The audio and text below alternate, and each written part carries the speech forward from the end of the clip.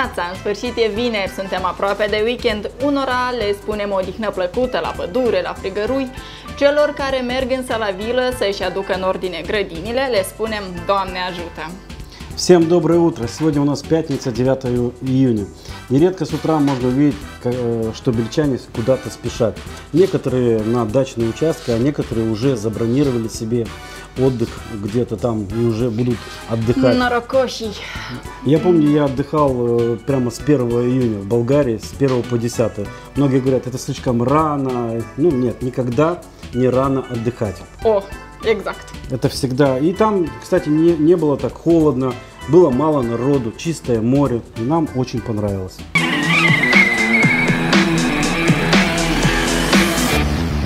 И вот, наконец, начало долгожданного лета. Море, солнце, пляж, песок. Я уже слышу шум прибоя. И так хочется взять всю семью и куда-то уехать от своих забот, от своих проблем. Вы знаете, раньше в СССР выдавались каждому путевки на курорты Черного моря. А теперь каз- каждый кузнец своего счастья. И в это хорошее утро мы, спро- мы хотели спросить наших бельчан, а где они собираются отдохнуть этим летом? Э, на море. А куда именно поедете? Не знаю. Мы только приехали сюда отдыхать. А, вы только сюда приехали отдыхать? Будете у нас в Молдове отдыхать, да? да. Buongiorno signora. Come stai? Io bene, per il mangiato di gelato sta bene. Ah, Se ne mangiamo un altro stiamo meglio. come in Moldova? Eh? Come, Come può, Moldava? co- come può essere Moldava? Ho sposato una Moldava, vorrei parlare male, sono mica stupido, no? Grazie. Eh. В Грецию. А почему именно в Грецию? Море хорошее, цены доступны. Всей семьей поедете? Да, обязательно. Пока еще не думали Насчет отдыха. А обычно где отдыхаете? В городе, естественно, только в городе. Ну, не выезжайте на море нет, никуда, да? нет, нет, Пока нет. Ну, желаем, чтобы вы уехали. Спасибо большое. Спасибо. Я с семьей поеду, скорее всего, в Болгарию. А почему именно в Болгарию? Ну, это ближе и финансово доступнее, и там э, среда языковая ближе. А вы? Еще пока не решили, знаем только несколько поездок, но до конца еще как бы не определились. Вот сейчас идем и думаем, что мы как мы будем проводить все-таки лето. Тоже отдыхаете всей семьей? Ну, естественно, да. А вы? Поделитесь с нами. Мы едем в Европу. Я со своим сыном. Там учится моя старшая дочь. Поэтому лето проведем там. Но тоже на море, да? Нет, в Чехию, в Прагу. Этим летом где собираетесь отдохнуть? Нигде. Я отдыхаю в Татарбунарах, в Рассейке. Мне нравится эта база отдыха. Каждое лето? Нет, иногда в Дубае. А почему именно сейчас в Татарбунарах? Ну, в этом году так получается. И всей семьей собираетесь? Э, Нет, я с сестрой, может быть, внучка поедет. Скажите, в этом году где собираетесь отдыхать? Нигде, дома. А, не знаю, еще не думали. Хотим на море. А куда именно? А, думали про Украину. А всегда отдыхаете на Украине? Ну, чаще всего. Думаю, что, наверное, куда-то надо поехать отдохнуть. Но вот куда еще не решили. А где обычно вы отдыхаете? Обычно отдыхаем дома, но иногда едем мы в деревню помогать и там отдыхать. А на море выезжаете? Конечно, и на море выезжаем. Но надеемся, что в этом году получится. Скажите, в этом году где собираетесь отдохнуть? Еще не решили. А, обыч- а обычно где отдыхаете? Ну, обычно отдыхали как бы в Европе, может быть в Украине, но пока мест нас маленькие, как бы еще решаем, как получится.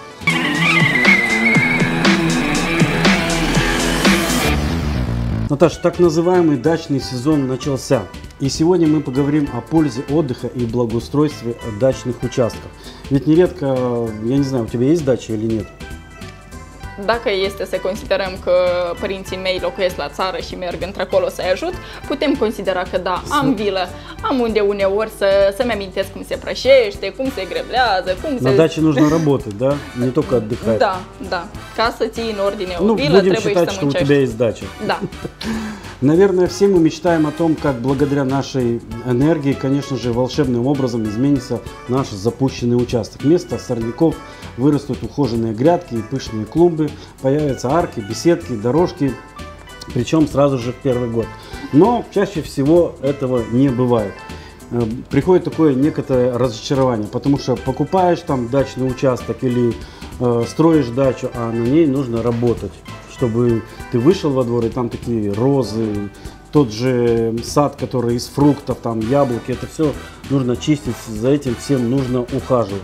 Но э, сил, конечно, не остается, хочется этим сразу наслаждаться, и неудачи будут, и ошибки тоже. Примите это как данность, как факт, так как приобретается опыт, э, и это его цена. И это не значит, что ничего у вас не получится.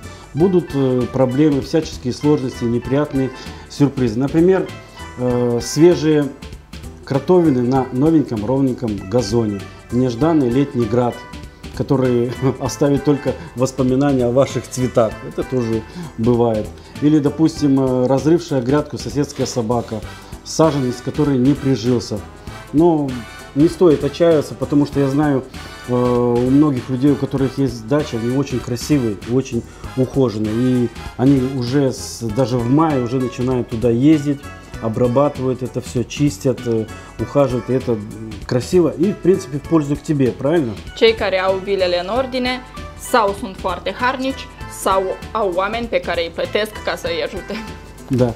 Еще так- тот факт, что смотришь по сторонам, листаешь там страницы сайтов, кругом аккуратные домики, ухоженные сады, где все так красиво, так разумно устроено. Переводишь взгляд на, на свои угодья и такая тоска.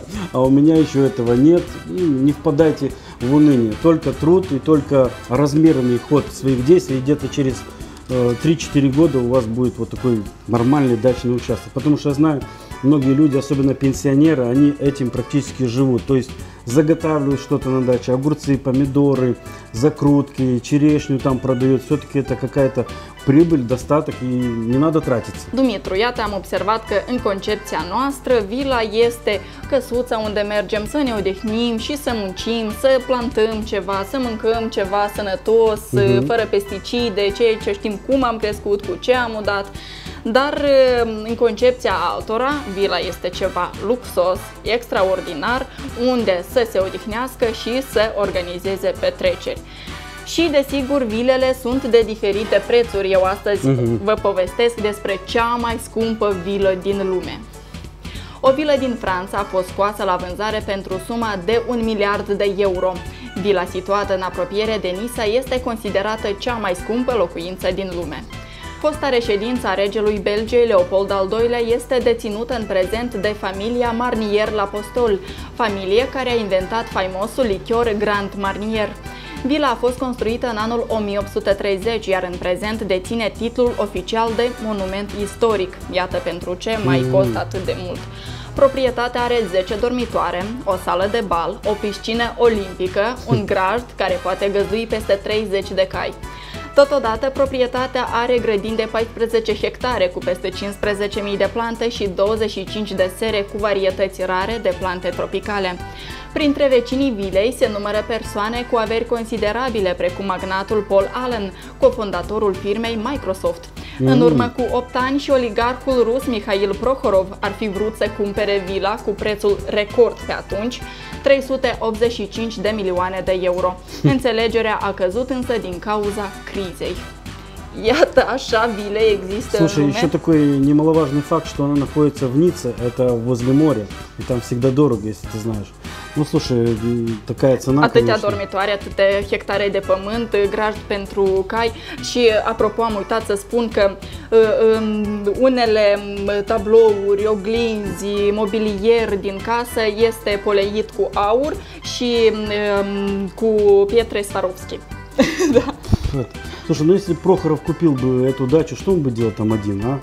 Ходил бы там один Păi такой. nu, singur, îți spuneam că de obicei organizează petreceri și uh, când organizezi o petrecere îți chemi toți prietenii, cei mai influenți, așa că să ai cu ce te lăuda. Bine, noi ne-am mulțumit și cu o vilă de vreo 50.000 de euro, Сто nu? процентов. Нам, нам хватит этого. Но если нас пригласят на эту виллу, мы будем очень рады побывать там.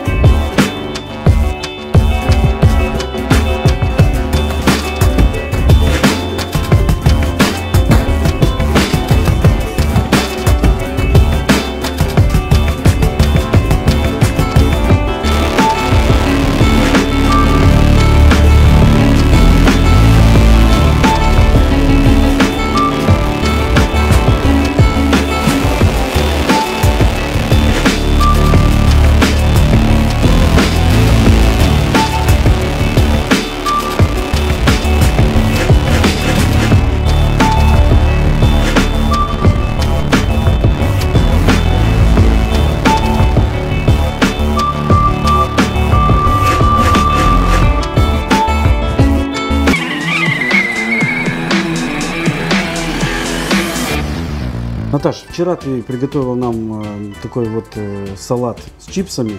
Ну, знаешь, не очень так мне, как бы, чипсы это, конечно, хорошо, но организм мой не привык к этому. Уже не буду их есть вообще. Если что-то вот предложишь сегодня такое натуральное, вкусное, я буду согласен. Îți pregătesc astăzi o salată mai sănătoasă cu pește, dar să știi că salata cu chipsuri tu o singură ai solicitat-o, așa că să nu te plângi. Да, я виноват.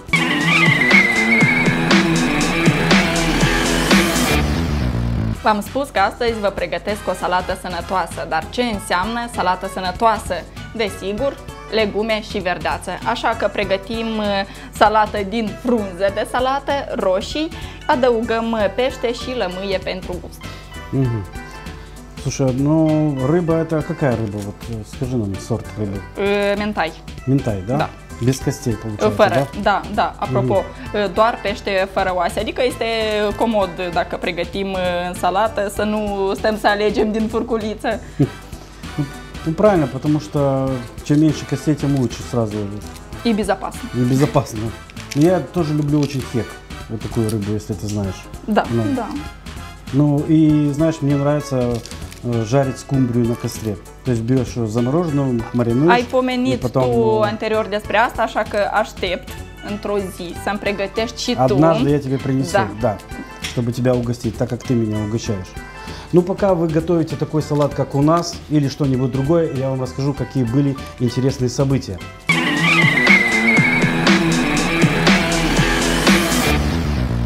Девятого июня 1994 года президент Казахстана Нурсултан Назарбаев объявил о переносе столицы из Алматы в Акмолу, бывший Целиноград, а сейчас это Астана.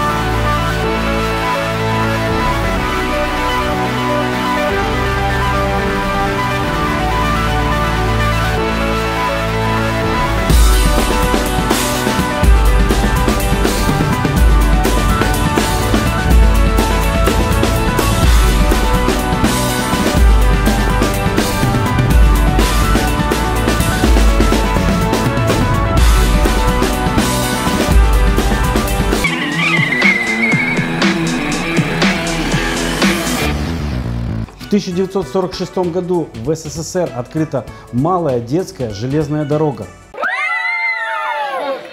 На долгожданное открытие детской железной дороги собрались взрослые дети. Одним хотелось вспомнить детство, другим отправиться, хоть и в короткое, но незабываемое путешествие. Решили снова проехать и посмотреть, как это вспомнить детство.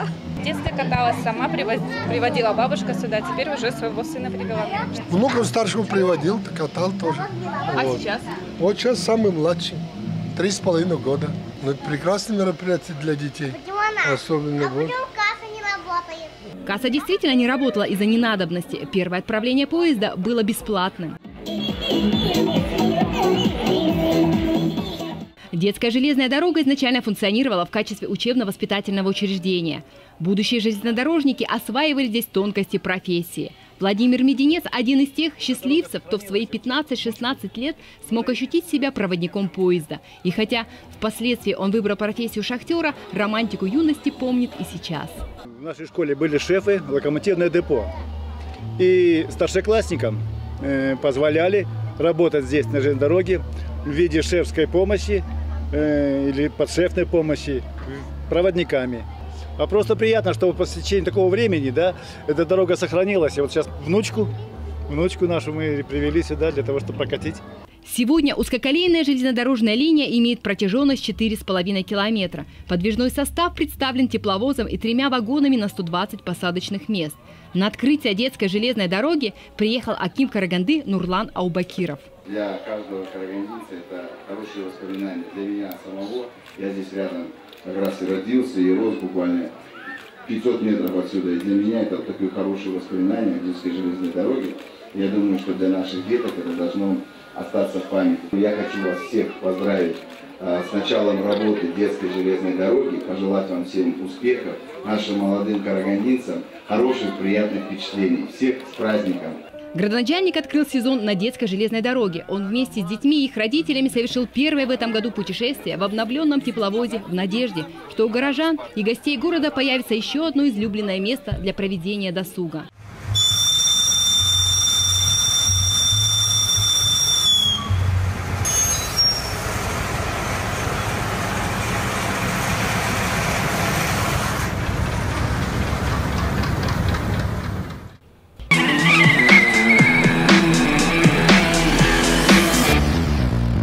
1963 году Уинстон Черчилль объявлен почетным гражданином США и недавно снят фильм, основанный на его биографии, который так и называется «Черчилль».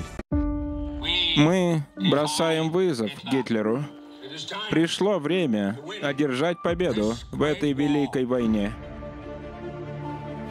Пять долгих лет мы просим своих мужчин выносить страдания войны. Июнь 44 Генерал Айзенхауэр, Уинстон, генерал Монгомери, мистер Черчилл. Ну что за встреча? Если бы Гитлер сбросил бомбу на этот клочок земли, уничтожил бы все высшее командование союзных сил. За войной ради свободы мы собрались здесь, чтобы принять величайшее решение в своей жизни — вторжение во Францию, сражение с немецкой армией в лоб скрывается битва за контроль. Я уже видел подобное раньше. Четверть миллиона человек было уничтожено в Галлиполи. Нужно рассредоточить свои войска. Планы для высадки войск уже месяц как в силе. Я не хочу повторять те же самые ошибки. Войска не станут притворять в жизнь ваши планы. Мы сами совсем разберемся. Позвольте нам выполнить работу. Прошу прощения. Я премьер-министр этой страны, и никто не помешает мне высказывать свое мнение. Основано на нерассказанной истории. Нельзя все изменить, переступив через головы наших союзников. Они понимают, что ты единственный, кто способен принимать решения. Мне нужна твоя помощь. Попробуй вести себя как герой, Уинстон, и многие люди поверят в то, что ты герой и есть. Люди погибнут. Довольно. Мой жених на одном из кораблей. Простите, я не имею права. Вы имеете полное право. Он уже не такой, как прежде. Будучи лидером, он может стать помехой. Вы хотите, чтобы мы бездействовали, в то время как нацисты собираются в 20 милях от наших берегов? Нет, я хочу, чтобы мы пошли на большее. Величайший момент в истории Британии, столь великолепные усилия в воздухе, на земле и на море. Нужно начинать. Вдохновленное.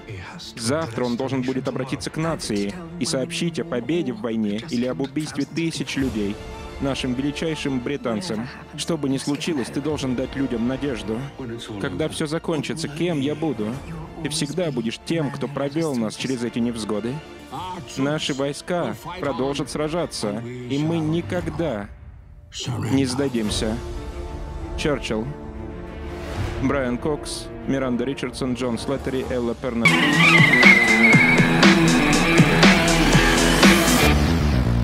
9 июня в 1981 году родилась знаменитая Натали Портман, настоящее имя Натали Гершлаг, американо-израильская киноактриса, знаменитая по своим фильмам «Леон», «Звездные войны», «Скрытая угроза». Натали Портман. Я играю с 11 лет. Я была во втором составе бродвейского мюзикла «Безжалостные». Это была моя первая роль. А потом был фильм «Леон». Я никогда не снималась в рекламе. Я ходила на пробы, но меня не брали. Я была своеобразным ребенком. Всегда вела себя, будто я старше своего возраста. А людям обычно нравятся дети, которые умеют быть детьми. Это ведь умилительно. Я не была взрослой, я просто делала вид. Я была по уши влюблена в Патрика Суэйзи в детстве. И когда повзрослела. Всегда мечтала поцеловать Патрика Суэйзи. Фильм «Моя девочка». Я от него рыдала. Серьезно, рыдала на взрыд. Когда она говорит, он ничего не видит без очков. Помните? А еще я после него жутко боялась пчел. Любимый день рождения. Я бы сказала, день рождения, который я провела в Чаки Чиз в детстве. Я очень люблю Чаки Чиз. Мне было лет семь или около того. Торт-мороженое от Карвел в виде кита, шоколадный кит. Больше всего меня раздражает, когда говорят, «Как я тебя хорошо понимаю». Невозможно понять, что именно чувствует другой человек. А люди очень часто это говорят. И говорят с благими намерениями. Но на самом деле это ложь.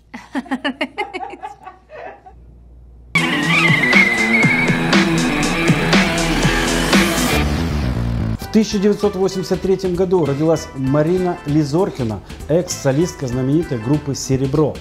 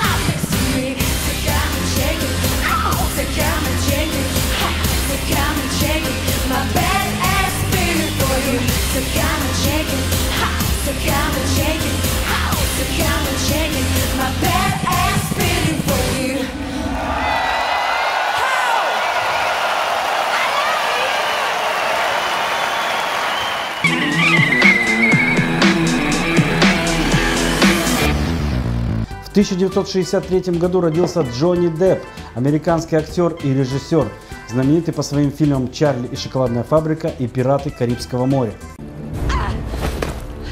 Один пистолет, одна пуля. чтобы застрелиться, а не умереть от голода. Тебе нельзя доверять, милая. Вдобавок, здесь же проходят торговые суда. Ты можешь подать сигнал.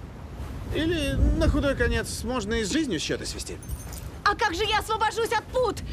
Так ты уже сделала это полчаса назад и только ждешь случая напасть на меня. Признайся, Джек, ты еще любишь меня. Будь у тебя сестра или собака, я выбрал бы собаку. Есть сундук с драгоценностями, несметные богатства! Ты станешь властелином морей! Вранье это! Стой!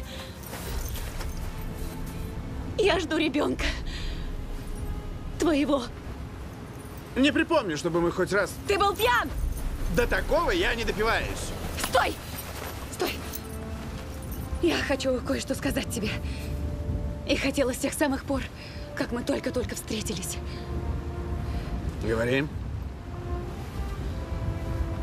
Я люблю тебя.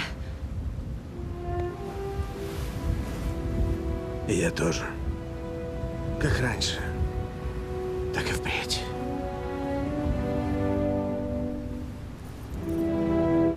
Мне пора. Джек! Мы не закончили! Джек!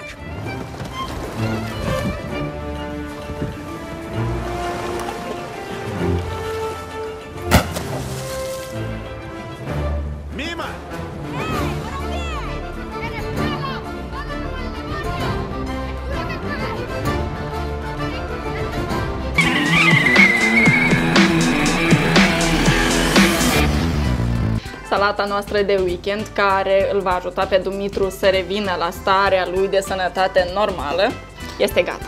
Можно пробовать, да? Да. Так, обязательно рыбу. Roșii, frunze de Mhm. salată, Мгм.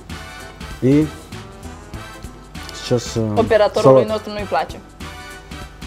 Nu ne împărțim cu el, nu? М. Морской салат. Я такие вот ел, э, когда отдыхали на море, кстати. Очень вкусный. În genere, ești amator de pește? Мгм.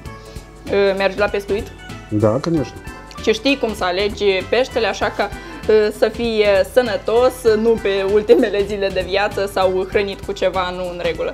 Ну, примерно так, знаю. Но обычно всегда живую же, когда на рыбалке. ловишь. Îmbogățește-ți cunoștințele din reportajul ce urmează. Прежде чем рыбку ловить, надо ее изучить. Понаблюдайте за поведением вашей избранницы. Она не жаждет общения с вами и стремится уйти поглубже, тем лучше. Рыба, которая уже не проявляет своих активных действий и всплывает вверх аквариума, является снулой, то есть это некачественная живая рыба. А вот для успешного вылова свежей или охлажденной рыбы действуют совсем другие правила. Рассмотрите ее поближе, прежде всего загляните в глаза. Они мутные. Это верный признак того, что бывшая водоплавающая томится на прилавке слишком долго. У рыбки первой свежести взор ясный. Кроме того, Появившаяся на ней слизь должна быть прозрачной. Если есть сомнения, стоит заглянуть в жабры и принюхаться. Они, во-первых, не должны быть с э, порочащим запахом, а во-вторых, присмотритесь к их цвету. Бледность и желтизна недопустимы. У свежей рыбы жабры ярко-красные, если она речная, и розовые, если морская. И еще. К сожалению, не все из нас живут у моря. Если рыбу привезли издалека, будьте бдительны. Зачастую за свежую продукцию нам выдают размороженную. Обращайте внимание, тусклая поверхность. Ткани неупругие, они проваливаются при надавливании. Действительно, охлажденная рыба, если взять ее в руки, не должна изгибаться или провисать. Ну а чешуя просто обязана сидеть крепко и блестеть ярко. Все совпадает? Поздравляем с отличным уловом. Друзья, всем желаем хорошего настроения, хорошо отдохнуть этим летом и чтобы у вас дача была самая красивая в городе. Până luni, la revedere!